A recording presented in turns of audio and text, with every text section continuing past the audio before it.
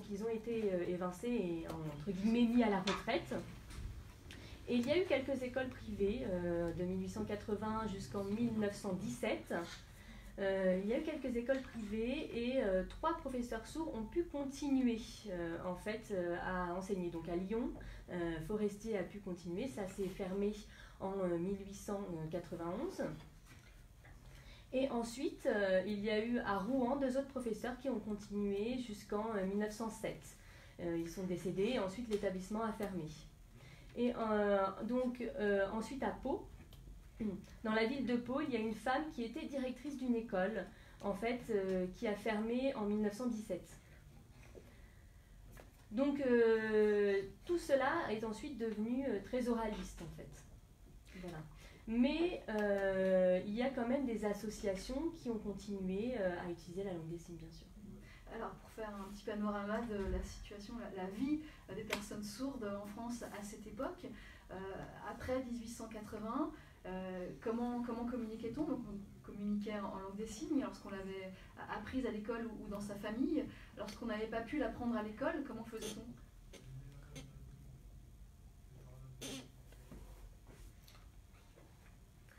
Alors, ça dépend des situations. Effectivement, si les sourds euh, étaient allés euh, dans des écoles et avaient appris la langue des signes, ils utilisaient complètement la langue des signes.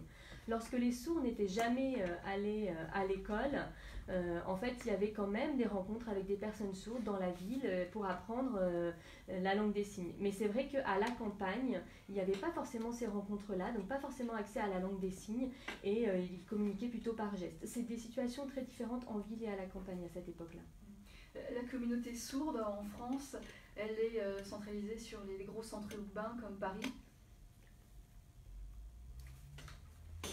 Tout à fait. Tout à fait. Euh, Paris, c'est vraiment la première euh, ville avec la majorité de sourds.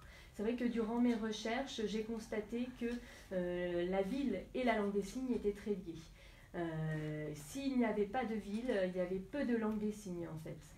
Et euh, c'est lié aussi aux écoles, aux créations des écoles de sourds. Alors avant, il y avait déjà euh, des écoles, bien sûr, qui étaient là, mais les écoles qui sont créées pour les sourds, en fait, ça crée euh, également la communauté. Tout ça est lié. Alors je vais vous expliquer pourquoi, parce que c'est assez intéressant. En 1759, donc c'est la célèbre histoire de l'abbé de l'épée, je pense que vous la connaissez. On va quand même la développer un petit peu. Oui, bien sûr, je vais l'expliquer. En fait, euh, donc cet abbé, euh, l'abbé de l'épée, a rencontré deux sœurs sourdes qui signaient et donc il a décidé euh, de leur donner une éducation. Et donc la communauté de la langue des, des, sourds pardon, est donc venue à Paris pour apprendre les signes en fait, qui étaient du français signé, hein, des signes méthodiques. Et en fait, les sourds se sont réunis à Paris et ont réussi à avoir un enseignement en langue des signes. Euh, alors après, il y a eu d'autres villes, Orléans, euh, Lyon, euh, Marseille. donc les communautés se sont créées également dans ces, dans ces villes.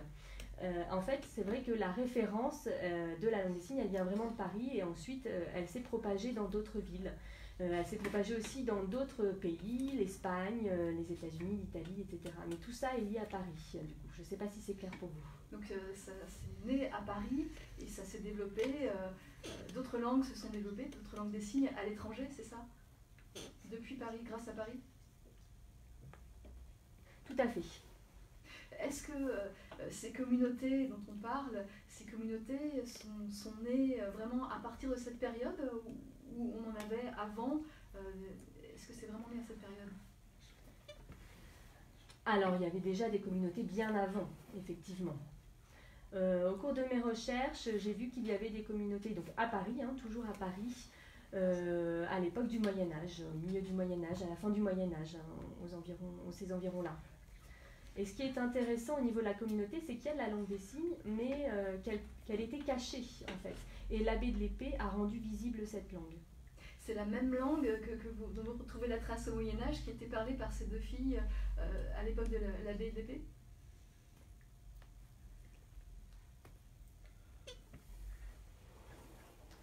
Alors au niveau de la structuration et de la grammaire, je ne pourrais pas vous le dire. Euh, mais au niveau du vocabulaire, il a, a effectivement évolué en fait euh, avec le temps. C'est assez euh, difficile d'expliquer tout ça à la radio, mais par exemple le pape qui se signe comme ceci avec les, les deux doigts d'un côté et de l'autre de la bouche, ça vient de 1790 environ. en fait, pardon, en 1790, on utilisait le signe plutôt, vous savez, de la couronne du pape avec la croix juste au-dessus. Donc le signe a évolué maintenant, il se fait avec les deux doigts de l'un et de l'autre de côté de la bouche. Voilà. Alors qu'est-ce qui, euh, qu'est-ce qui constitue une communauté une langue, une langue commune, une langue des signes, mais tout le monde ne parle pas euh, forcément la langue des signes. Qu'est-ce qui constitue cette communauté sourde? Alors c'est vrai qu'il faut faire attention au sens de la communauté. Euh, ce sont des personnes qui se comprennent, qui ont des choses en commun. Euh, à Paris, il y a la langue des signes. Euh, elle n'est pas la même forcément euh, par tout le monde. À l'époque, hein, je, parle, vraiment de, de, cette époque-là. À Paris, il y a une langue des signes. À Marseille, il y a une langue des signes, mais les vocabulaires peuvent être assez différents en fait entre ces langues-là. Donc à l'époque, donc de la belle époque, hein, je ne sais pas si la langue des signes était commune à tout le monde. Il manque encore cette information parce qu'on manque de traces en fait, de traces écrites sur cette langue. Les recherches sont en cours et ce n'est pas terminé on espère que ça, avance euh, rapidement. En tout cas, c'est euh, combien de personnes ça représentait euh, C'est par exemple la communauté sourde de Paris. Vous savez à peu près combien de personnes étaient, étaient incluses C'est une, une, question très intéressante parce qu'on n'a pas de statistiques et de chiffres vraiment précis. Euh, en fait, il y a des sourds qui étaient inclus dans la communauté et des sourds qui étaient hors communauté. Par exemple, les personnes âgées qui perdent l'audition, ils sont hors communauté. Les personnes euh, qui sont nées sourdes, ils sont inclus dans la communauté. Donc il n'y a pas de chiffres et de statistiques précises sur combien de personnes faisaient partie de cette communauté. Voilà, et, euh, donc dans mon livre, je, le consulte. Puisqu'il y a une grosse partie généalogie à la fin du livre. Il y avait environ 1500 sourds voilà, euh, de ce qu'on a noté. Mais euh, est-ce qu'ils utilisaient la langue des signes ou pas euh, On ne sait pas. En, fait, au niveau des chiffres, peut-être qu'il y a moins de sourds qui seraient inclus dans cette communauté et qui utiliseraient cette langue des signes, peut-être la moitié, on ne sait pas encore. Et sur l'ensemble de la France, est-ce qu'on a une idée du nombre? C'est le même problème, en fait. Il n'y a pas de chiffre précis. à cette époque-là, il était noté à peu près 250 000 sourds. Euh, mais est-ce que, c'est des sources, est-ce que ce sont des sources signants ou pas euh, On ne sait pas encore. En fait, actuellement, on dit qu'il y a 4 millions de sourds, mais est-ce qu'ils sont signants? Euh, Non, pas forcément. C'est à peu près 500 000 sourds signants. Donc il y a les devenus sourds, les nés sourds, et tout ça est très différent. Et quels sont, est-ce qu'il y avait une culture commune de la, dans la communauté sourde? Non. Non. Elle pouvait être très différente. En fait, au niveau de la, la, communauté sourde, la culture pouvait être très différente. Ça dépendait aussi euh, du milieu social dont venait le sourd. Est-ce qu'il était aristocrate? Est-ce qu'il était euh, plutôt d'une basse catégorie? Euh, Comment il vivait? Quelle était sa culture? Ça, ça, peut être très très différent. Et encore maintenant, ça peut être très très différent. Ça peut être très différent, c'est-à-dire? Eh bien, euh, par exemple, actuellement, parlons de l'époque actuelle, il y a une communauté sourde qui vit, qui travaille. Ça peut être des ouvriers, ça peut être euh, d'autres catégories euh, de travail professionnels. Et il y a un autre niveau, un niveau très élevé, une catégorie sociale très élevée. Et eh ben, la culture est différente. Au niveau de la société en France, c'est exactement la même chose en fait. Et donc la langue des signes est très liée à la culture, mais cette culture peut être différente selon les niveaux socioprofessionnels. Euh, Yann Quentin, on va continuer à parler de la communauté sourde de la Belle Époque, 1870-1920, euh, grâce à votre livre, votre livre qui est en fait la, suite de votre thèse de doctorat. Euh, vous avez aussi publié Dictionnaire biographique des grands sourds en, France et silencieux de France, 1450-1920, dont on reparlera peut-être, qui sont publiés aux éditions Archives et Culture. On continue avec vous dans un instant.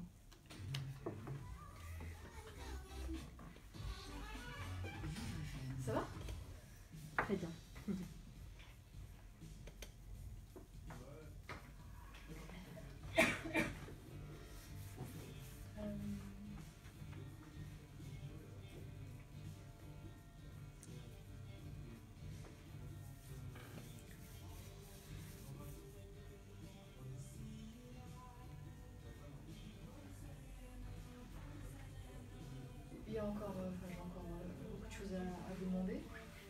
Mais est-ce qu'il y a des choses qui, avec plaisir, avec plaisir. qui vous, vous paraissent vraiment essentielles, que vous avez vraiment envie d'évoquer?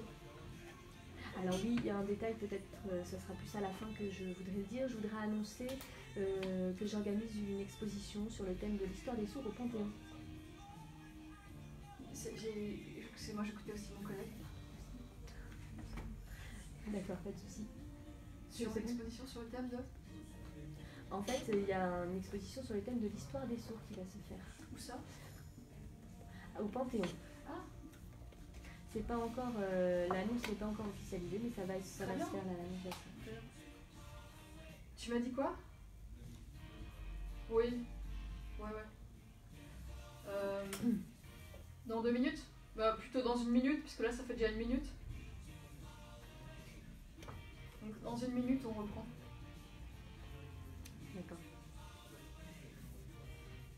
On reprend, après on a le journal, les infos la météo, puis une pause de 7 minutes environ, et puis on, reprend, euh, on reprend après.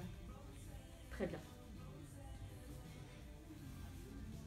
Et donc l'exposition, on en parlera plutôt à la fin de l'émission. Oui, c'est mieux. le CMN va bientôt faire une annonce également. Euh, voilà. C'est juste une histoire, c'est juste histoire de donner une petite information en disant que, ça va être officialisé, ça, ça commence fin juin. Normalement, c'est prévu l'inauguration le 18 juin. Ah, d'accord.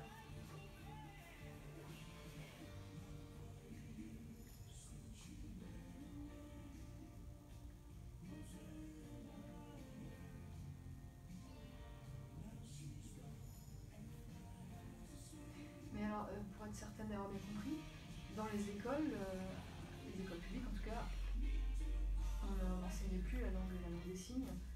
Euh, la langue des signes a quand même perdu, perdu en. Alors là, il y a un retour actuellement. Il y a un retour de la langue des signes dans les écoles. Euh, mais les enfants sourds, c'est assez difficile d'avoir accès quand même à la langue des signes. Parce qu'on priorise quand même euh, Oui, actuellement, oui. D'accord.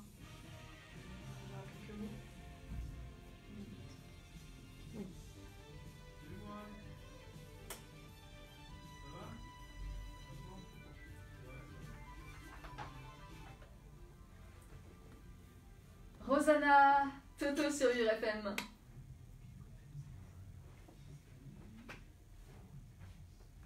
Et nous parlons de l'histoire des sourds en France, plus exactement de la communauté sourde de la belle époque 1870-1920 avec Yann Quentin. Yann Quentin qui est historien, maître de conférence à l'université Paris 8, spécialiste de l'histoire de cette communauté sourde de la langue des signes, co-auteur du dictionnaire biographique des grands sourds en France, Les silencieux de France 1450-1920 aux éditions Archives et Culture.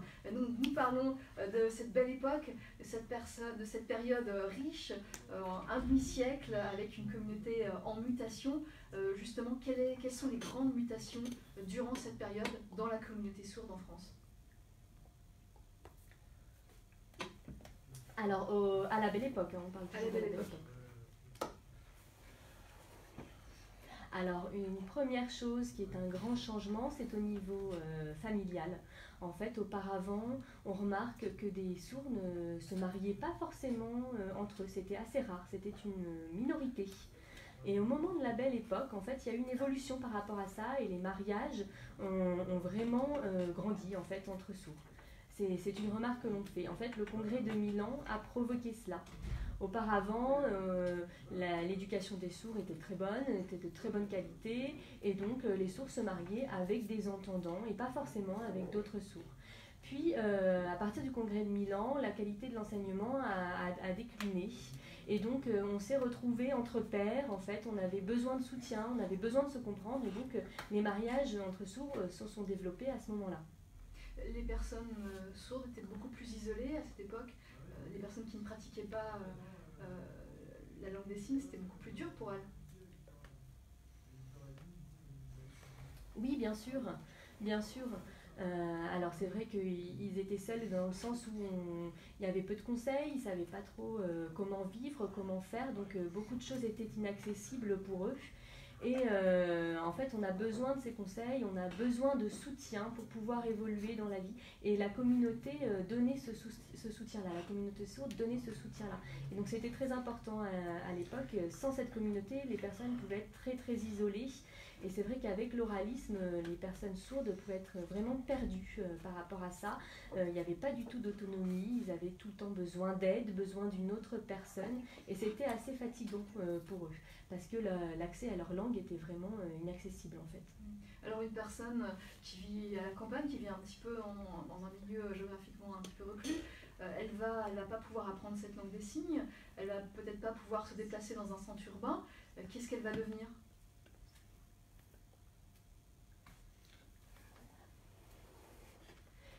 Eh bien, c'est vrai qu'on peut, l'appeler, vous savez, avec l'expression un peu l'idiot du village à cette époque-là. Souvent dans les villages, en fait, euh, les sourds sont un peu euh, assimilés à des idiots. Voilà, c'est la représentation qu'en ont les, personnes. C'est des personnes qu'il faut aider, qu'il faut euh, soutenir, etc. On leur dit, bah tiens, c'est bien, vas-y, fais ça, fais ça, c'est bien, et la personne le fait. Et en fait, à partir du moment où la personne va dans une ville, là, elle évolue vraiment et sa vie change complètement. En 1779, en fait, avant cette période-là, il y a eu un sourd qui s'appelait euh, Pierre Desloges. Et en fait, euh, il a dit que vraiment, euh, la ville lui a donné une ouverture sur le monde, chose qu'il n'avait pas du tout dans les villages. C'est cette personne qui a écrit ça. Alors on imagine que ces personnes n'ont pas non plus accès à l'écriture, donc ne peuvent pas s'instruire.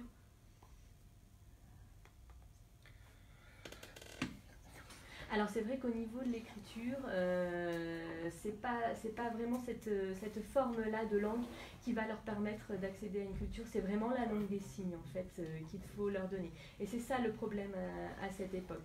Au niveau de l'écrit, ça peut être possible de passer à l'écrit. Ils pourraient euh, par exemple aussi essayer de lire sur les lèvres, mais en fait la langue des signes leur donne vraiment le sens des propos. Et donc c'est ça qui va les faire accéder à une culture. Et les deux sont vraiment complémentaires il y a des, savants euh, sourds qui, euh, qui, euh, qui ont accédé à l'instruction grâce à l'écriture.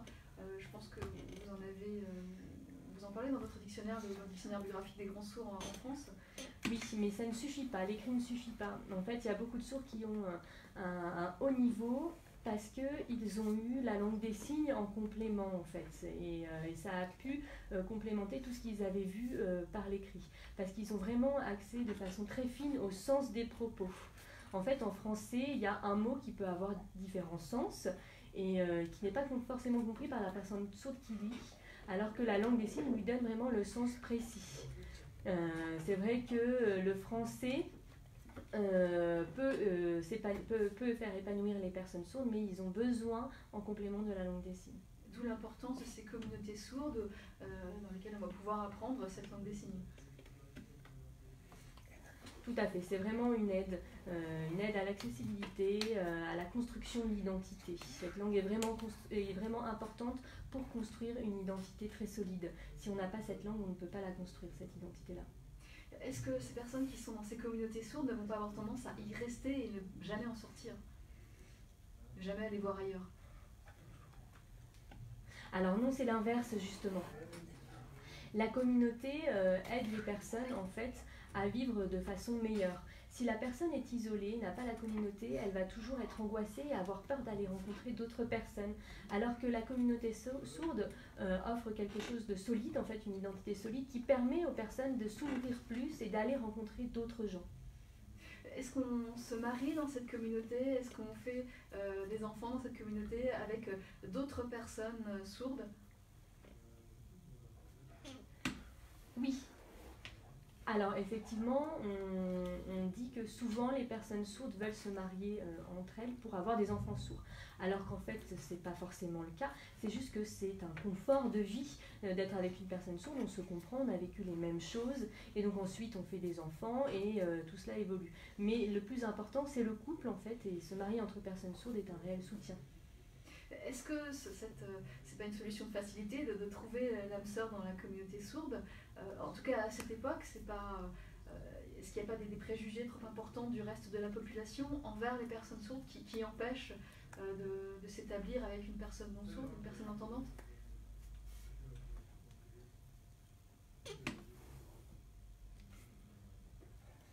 Alors en fait, le, souvent le problème, c'est que lorsqu'on voit deux personnes sourdes se marier ensemble à cette époque-là, on pense que c'est pas normal en fait.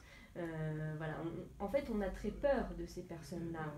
On, a très peur des personnes qui sont différentes. Donc, le sourd pourrait se marier avec un entendant à condition que l'entendant respecte cette culture et respecte, et respecte cette identité. S'il n'y a pas de respect de cette identité, c'est compliqué de se construire et il n'y a, pas, il a pas de compréhension mutuelle en fait.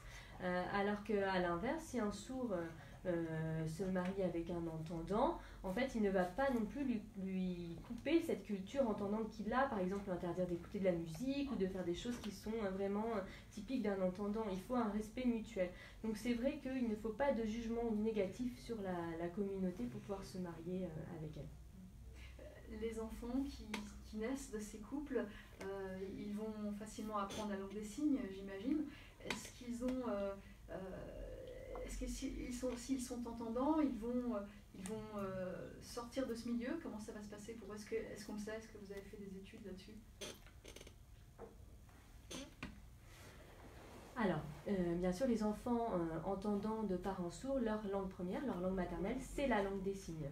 Euh, qu'elle soit, que l'enfant soit sourd ou entendant, euh, c'est une personne et donc il est inclus dans la communauté sourde, évidemment, et il a la langue des signes, euh, évidemment. Qu'il n'entende ou qu'il n'entende pas, c'est pas ça le problème, le problème c'est, vient de la culture, et il a la culture sourde. C'est sa langue maternelle, effectivement, sa toute première langue. Tout à fait, c'est ça. est-ce, qu'il va pouvoir par la suite apprendre le français, le français oral?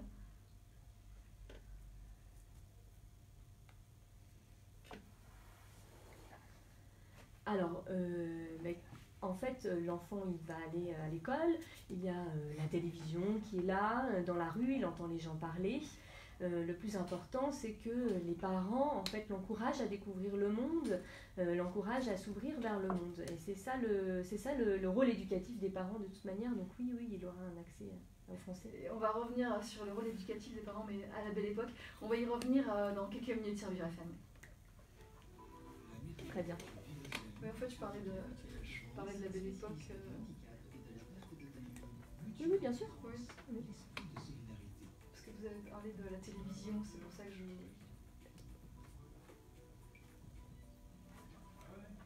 Et la radio. Et la radio aussi.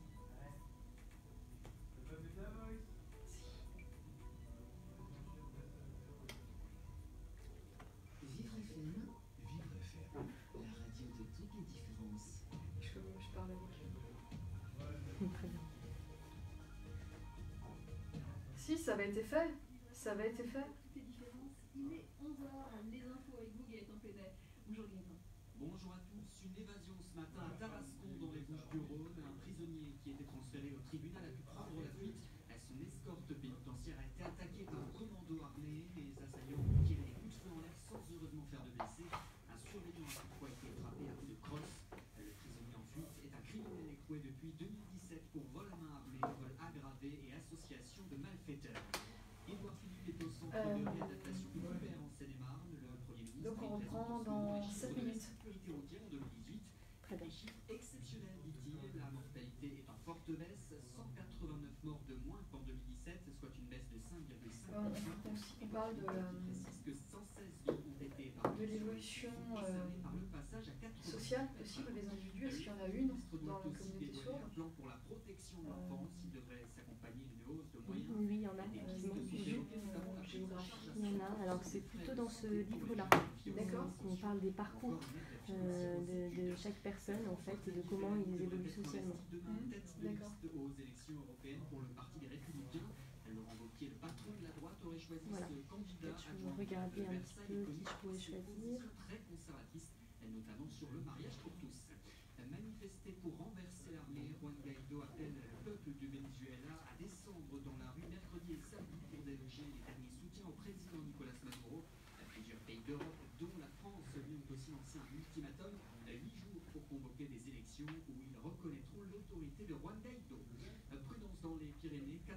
département placé sous vigilance orange à cause du risque d'avalanche. Il s'agit des Pyrénées-Atlantiques des Hautes-Pyrénées, de la Haute-Garonne et de l'Ariège. Et puis un coup d'œil au classement ATP de tennis et le français qui a plus récemment finaliste de l'Open d'Australie, Bertel Lopez se classe à 17e. Un classement toujours dominé par le Serbe Novak Djokovic, imbattable hier en finale face à Rafael Nadal. L'Espagnol prend la deuxième place. Je vous souhaite à tous une très belle journée. Euh, j'ai vu que vous utilisiez le terme. Euh, noétomalalien, c'est euh, noétomalalier le verbe. Euh, Est-ce que ça c'était déjà présent à, à la belle époque? Il, a- il apparaît quand? Alors en fait, ce mot, euh, c'est euh, Henri Gaillard qui a proposé euh, de l'utiliser. Il ne s'est pas forcément beaucoup euh, développé. Euh, voilà, moi j'ai essayé de le reprendre.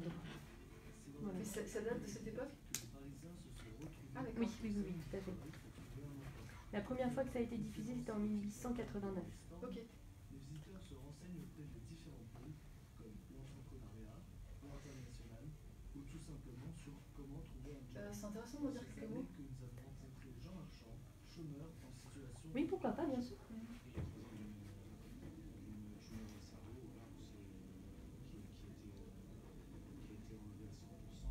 Euh, sinon, sur euh, le- disparition de l'enseignement de la langue des signes dans les écoles, donc, à- cette époque, il y, a- il y a des choses encore à dire. Eh ben, selon si vous avez envie de rajouter quelque chose, ce sera avec plaisir pour moi. Mais Euh, bah, Est-ce que j'ai j'ai vu, j'ai pas tout lu, mais j'ai vu qu'il y avait des stratégies justement euh, contre, contre cette suppression. euh, des- je sais pas si vous voyez oui, au sein des associations, sein des associations, ça peut être intéressant de parler des associations, oui, effectivement. D'accord. plusieurs brochures. 15 ans dans le graphisme, il désire se lancer dans l'auto-entrepreneuriat, qui a toujours été un objectif pour lui. En recherche depuis 4 mois, il souhaite se réorienter, mais se confronte à un obstacle. Tu, tu fais une rediff à 11h30, c'est ça?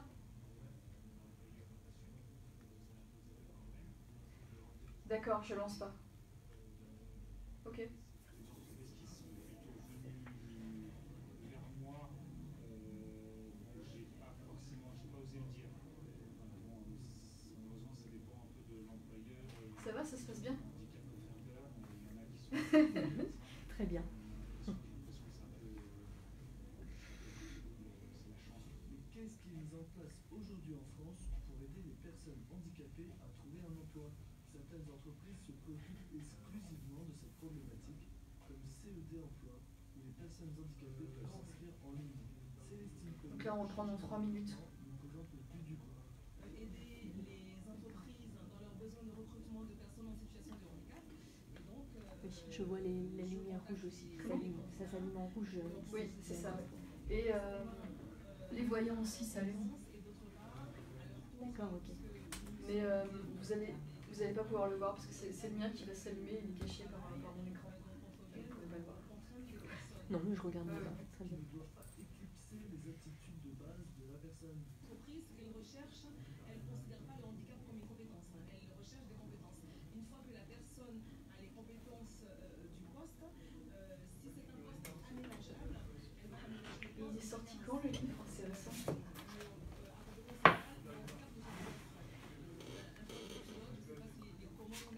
Celui-ci, c'est très récent, oui. C'était en. Alors mince, j'ai oublié. En janvier. Début janvier, là, de cette année. Ah, D'accord, c'est moi aussi. C'est ça. Et celui-ci, là, euh, c'était euh, l'année dernière, en novembre 2017. pour répondre à Il y a un la an. crainte d'annoncer D'accord. son handicap. Pas de panique. Célestine Penaud vous conseille. Une fois qu'on a montré qu'on est compétent euh, sur le poste, on a montré ses compétences, on a détaillé ses compétences, on peut à la fin de l'entretien euh, dire que euh, l'employeur peut respecter la loi en, en embauchant la personne puisque euh, Je reviens. en plus de son handicap, en plus de ses compétences, elle a reconnu travailler en santé et ça permet à l'entreprise d'être dans une accueillante et d'être dans les 6%. L'alternance est le meilleur moyen aujourd'hui pour l'insertion professionnelle des personnes handicapées dans un milieu moins protégé. Sans payer une formation, c'est le seul moyen de rattraper le niveau d'études non acquis. Par exemple, au stand J27 du salon, la chargée de projet Nisba Mangera nous présente NB Développement et son projet Sato. C'est un projet qui a pour vocation, l'insertion professionnelle de personnes en Non, ça va, très bien. de Ah, mais il a Ça son va. café si, si, Oui, oui, c'est bon. J'ai déjà terminé, c'est bon. Merci. L'entreprise possède une CVTech en ligne où sont enregistrés les CV de l'ensemble des candidats Sato. Elle peut être consultée par l'ensemble des entreprises partenaires du groupe. Nous faisons le lien entre des candidats qui sont en situation de handicap et à la recherche d'un stage ou d'une alternance euh, dans le cadre d'une formation et des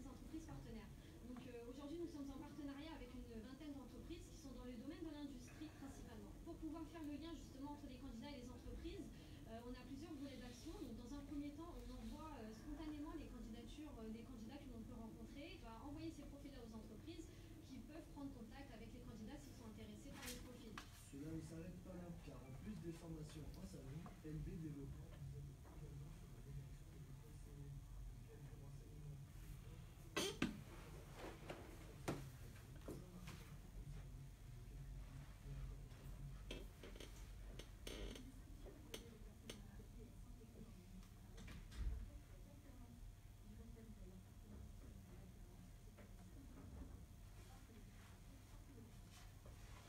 Qu'on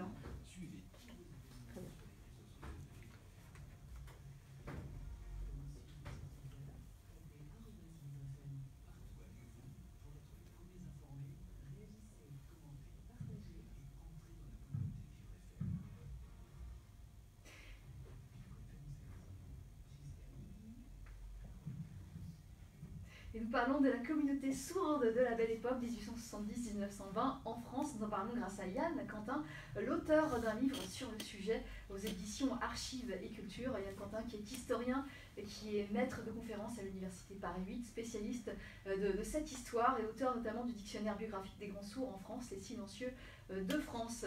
Et nous en parlons euh, grâce à Sophie Grindato qui traduit, qui est interprète en langue des signes traduit ce que nous dit Yann Quentin, euh, qui, euh, qui explique depuis 10h30 et jusqu'à 11h30 cette histoire, cette belle histoire euh, des, des personnes sourdes à l'histoire, à l'époque de la belle époque. Merci. Alors, ce livre, ce livre euh, l'histoire de la communauté sourde à la belle époque, il est, il est sorti tout récemment, ce mois-ci, en, en janvier. Et euh, le dictionnaire, il est sorti il y, a, il y a un peu plus d'un an. On va peut-être en dire quelques mots euh, dans, quelques instants. Comment les, les personnes sourdes se désignent-elles, se nomment-elles à la belle époque? Est-ce qu'on dit euh, je suis sourd, je suis une personne sourde? Enfin, comment se présente-t-on? Alors, au niveau du français écrit et de la langue des signes, c'est différent. En langue des signes, quand on s'exprime en langue des signes, on dit je suis sourd, mais on le traduit en français par sourd-muet, souvent. Donc, euh, une personne peut écrire le mot sourd-muet pour se désigner. Et euh, à l'époque de la belle époque, on les appelle aussi, on s'appelle aussi les silencieux. Alors, pourquoi le mot euh, les silencieux? C'est parce que on, veut vraiment que ce mot soit lié à la langue des signes et pas forcément au fait de ne pas entendre. Voilà. Les silencieux, ce sont les personnes sourdes qui se nomment ainsi Ou est-ce que c'est tout le monde? C'est aussi les, les entendants? Non, ce sont les personnes sourdes qui se désignent euh, telles quelles. Euh, ils écrivent en disant qu'ils sont les silencieux. Voilà. Est-ce que ces, personnes sourdes, euh, durant cette période 1870-1920, euh, sont confrontées à, de, gros préjugés, des préjugés qui, qui les gênent dans, dans leur vie quotidienne, dans leur vie de tous les jours? Alors, à cette époque-là, euh, c'est vrai qu'il y a beaucoup de discrimination. Euh, alors, par exemple, euh, par rapport au travail, souvent, on a peur en fait d'embaucher une personne sourde parce qu'on a peur des accidents de travail dus à ce handicap. Et au niveau de la société, en fait, la personne sourde est vue comme une personne bête, en fait, une personne un peu débile qui ne connaît pas, qui ne sait pas, alors que, en fait, il faut, il faut écrire à cette époque-là, donc une personne qui signe euh, n'est pas forcément vue comme une personne euh, intelligente. Et c'est vrai que l'oralisme, en fait, a empiré cette situation en ne donnant pas accès à l'écrit aux personnes sourdes. En fait, pour être reconnu, euh, pour être estimé, il faut, il faut écrire. Il faut être un sourd qui signe, mais qui écrit également. Tout à fait, tout à fait. C'est vrai que l'écrit au niveau de la société, euh, ça permet euh, d'évoluer au sein d'une société. Si on n'écrit pas, on ne peut pas évoluer au sein d'une société. Et euh, la communauté sourde est une minorité face à une majorité. Et donc il faut prendre le modèle de la majorité pour pouvoir être reconnu. Et ce modèle-là est vraiment représenté par l'écrit. Et certaines personnes sourdes savent écrire, d'autres non. Euh, c'est assez disparate au sein de la communauté, mais si une personne sourde sait écrire, alors elle a de la valeur au sein de la communauté. Si une personne sourde ne sait pas écrire, alors elle n'a pas de valeur au sein de la communauté. Et c'est vrai euh, qu'il y a euh, deux sortes de communautés chez les sourds. C'est la communauté sourde qui sait parler et la communauté sourde qui ne sait pas parler aussi. Quels étaient les comportements des Français entendants vis-à-vis de, camarades, de leurs camarades sourds Est-ce qu'il y avait de la compassion? Est-ce qu'il y avait de la solidarité? Alors ça dépend vraiment des personnes. hein. On remarque euh, souvent qu'une personne euh, qui connaît la, société sourde euh, est différente en fait. Il y a euh, des personnes qui sont plus liées aussi euh, à la santé. Il y a d'autres personnes qui sont beaucoup plus ouvertes, beaucoup plus curieux par rapport à cette communauté, beaucoup plus respectueux par rapport à cette communauté. Euh, alors c'est euh, avant la Belle Époque, il y a un célèbre euh, poète qui s'appelle Lamartine, que vous connaissez j'imagine, qui a contacté des sourds poètes également et qui avait une grande écoute et un grand respect par rapport aux sourds. Donc il y a aussi Victor Hugo qui a été en contact avec des personnes sourdes et qui a été très respectueux de ces personnes.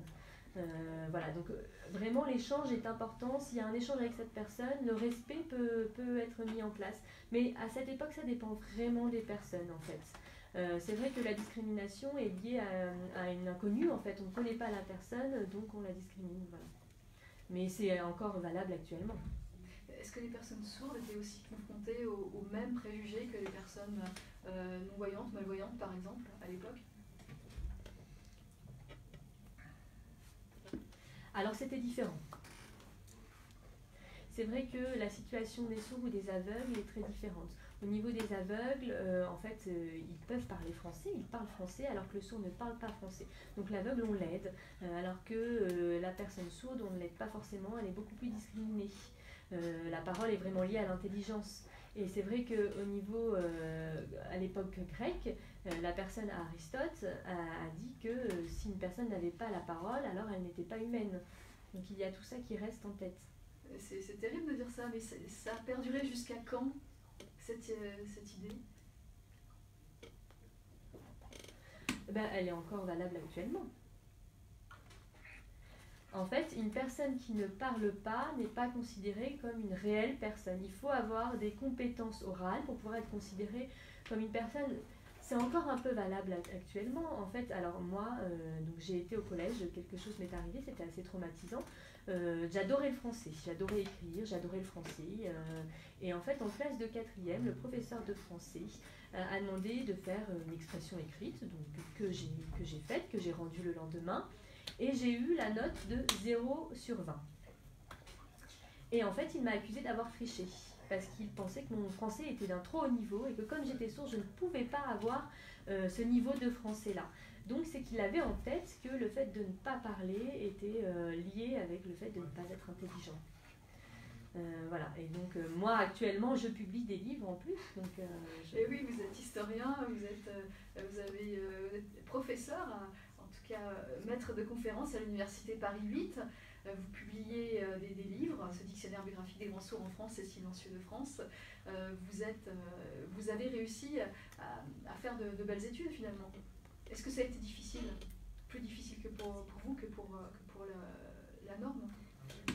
Alors ça n'a pas été difficile, ça a été différent. Les stratégies étaient différentes. Au niveau des études supérieures, en fait, il y a un manque d'accessibilité. Et en fait, moi, ma priorité, c'était vraiment euh, d'avoir un très bon niveau et des très bonnes compétences en français pour pouvoir continuer euh, en fait euh, à l'université. Et c'est vrai que quand il y a un interprète, ça change beaucoup de choses. On a beaucoup plus accès à, cette culture-là. Mais c'est vrai qu'il faut avoir des grandes compétences en français pour pouvoir continuer vers des études supérieures. En fait, supérieures, pardon. En fait, il faut être curieux. Et avoir euh, de bonnes connaissances en mathématiques, ça, ça ne suffit pas. On peut- il faut vraiment, euh, le français, c'est l'essentiel. C'est la base. Pour moi, le français, c'est la base.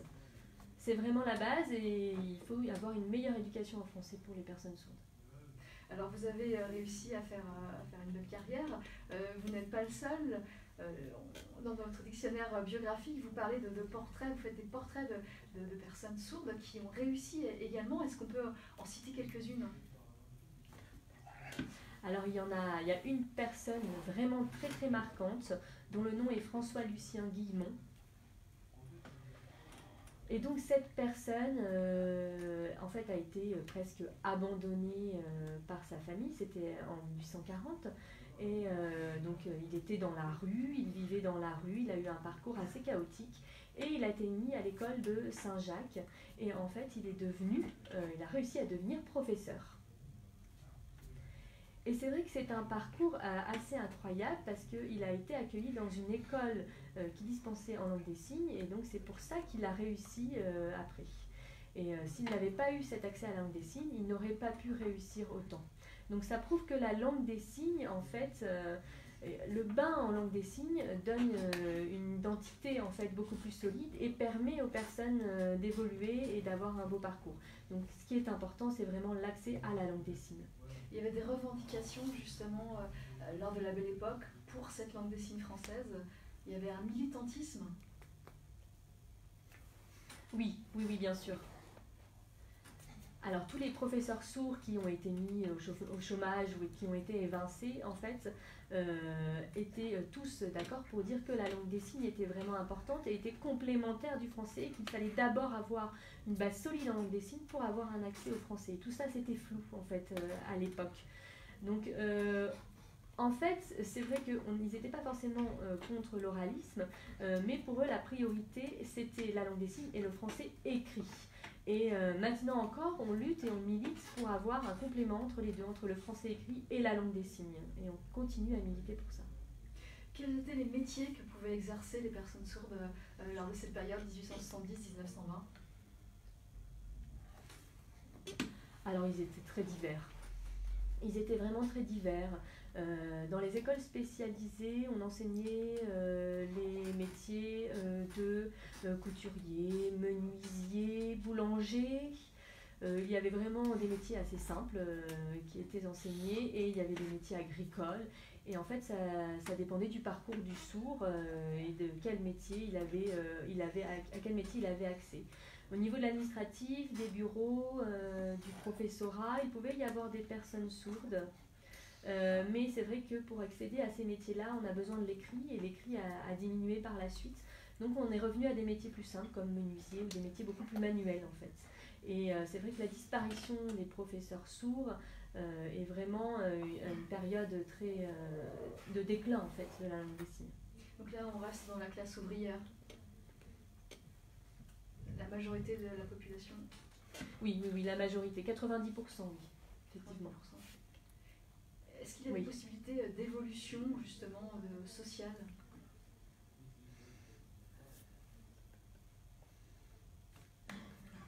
À l'époque de la belle époque? Oui, exactement. Alors en fait, euh, le problème, c'est que euh, avant le congrès de Milan, l'évolution était possible. Après le congrès de Milan, l'évolution n'était pas possible. En fait, euh, s'il y a un soutien familial, l'évolution est possible. S'il n'y a pas de soutien familial, l'évolution n'est pas possible. Et c'est vrai que euh, après le congrès de Milan, on les envoyait à l'école pendant six mois, euh, et en fait, la qualité de l'enseignement était tellement bas que les connaissances étaient très limitées et que l'évolution s'est arrêtée. Donc cette période-là a duré presque 100 ans. Et euh, là, depuis 40 ans, on rattrape un peu euh, ce, manque, euh, ce manque qui a, été, qui a perduré pendant 100 ans. Voilà. Mais auparavant, il pouvait y avoir, oui, une évolution sociale. Je reviens sur la, la période de la belle époque. Il y avait un, un foisonnement littéraire, c'est ce que vous dites dans votre livre?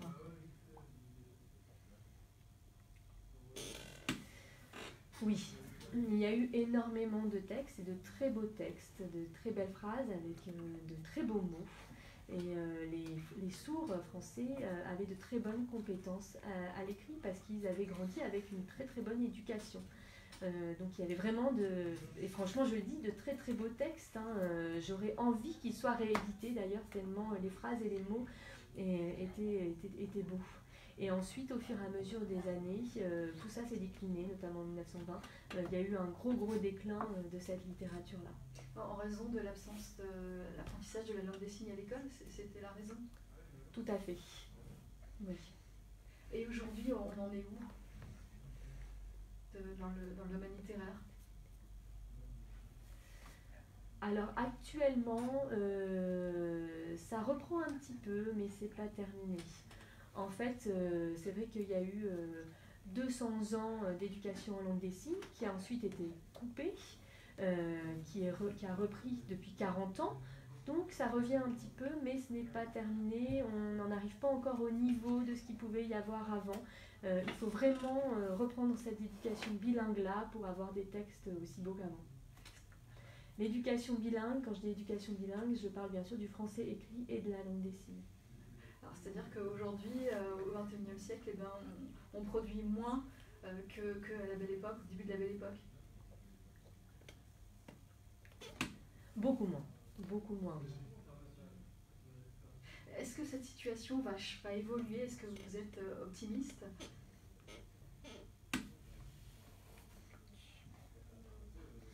Alors oui, de toute façon, je suis toujours optimiste. On peut toujours faire mieux, toujours évoluer. Alors euh, il y a certaines personnes qui se plaignent, qui disent qu'il n'y en a pas encore assez. Euh, mais ça fait 40 ans que ça a repris. Euh, c'était dans les années 70.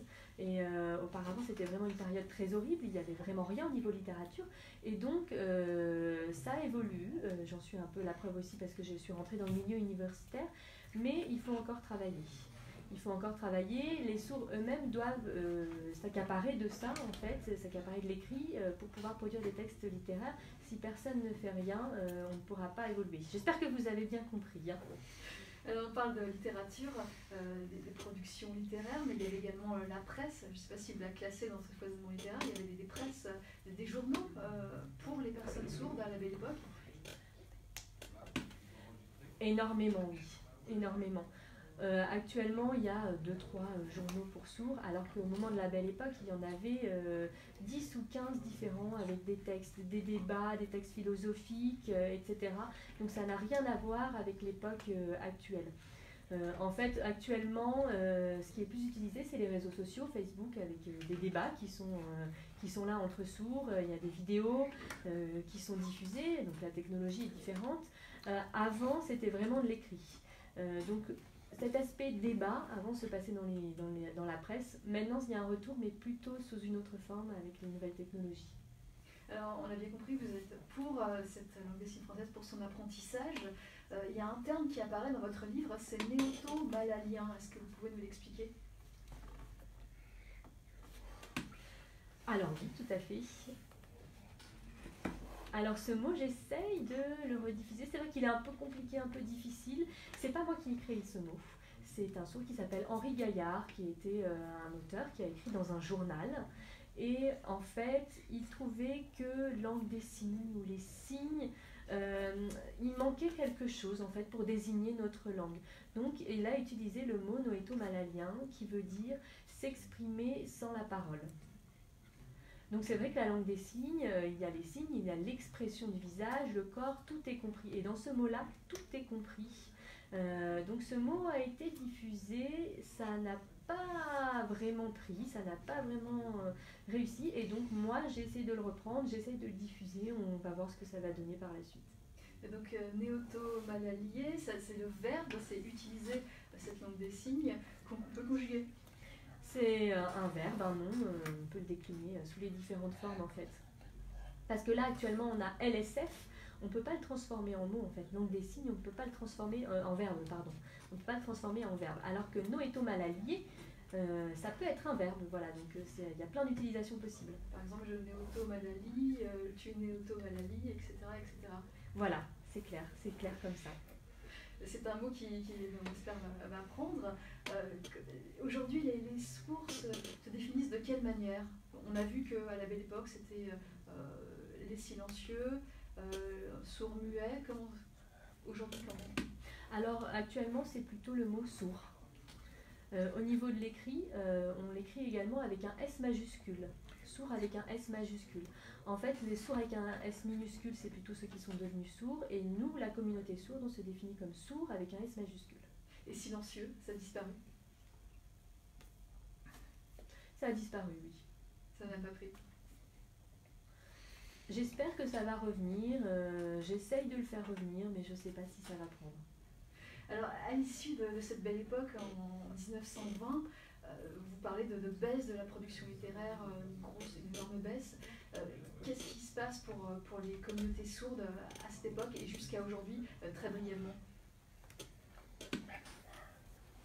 Alors après 1920, en fait, il y a eu, euh, bah, vous savez, la Première Guerre mondiale. euh, donc euh, en fait, on a essayé de reprendre l'éducation sourde de façon très médicale, en fait. Et donc on s'est moins axé sur les savoirs, on s'est plus axé sur la rééducation. Donc il y a eu un vrai déclin à ce moment-là. Et à un moment du réveil sourd, 1970, il y a eu un peu euh, un militantisme qui s'est mis en place. C'est vrai qu'au niveau médical, on disait qu'il fallait soigner les sourds, qu'il fallait les implanter, mettre des appareils, et il y avait les militants d'un autre côté qui militaient pour ne pas se concentrer là-dessus. Donc c'était un gros débat. Et ça, c'était euh, dans les années. euh,